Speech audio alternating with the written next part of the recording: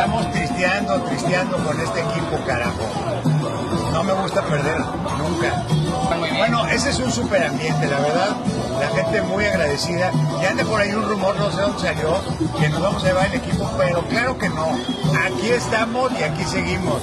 Y le vamos a dar la vuelta a esta coda. No, pues, pues viene la siguiente temporada y esto no se acaba hasta que se acaba. Y aquí estamos y aquí seguimos. Aquí estamos y aquí seguimos. Bueno, pues es una gran ilusión para el público que le gusta el fútbol y, somos muchos. Entonces es una gran oportunidad.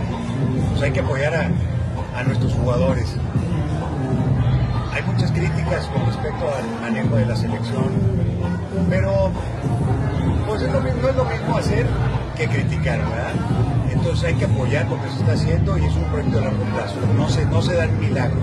Y así como aquí en Mazatlán tenemos problemas que vamos a resolver, estoy seguro que más pronto que tarde vamos a resolver los problemas de la selección.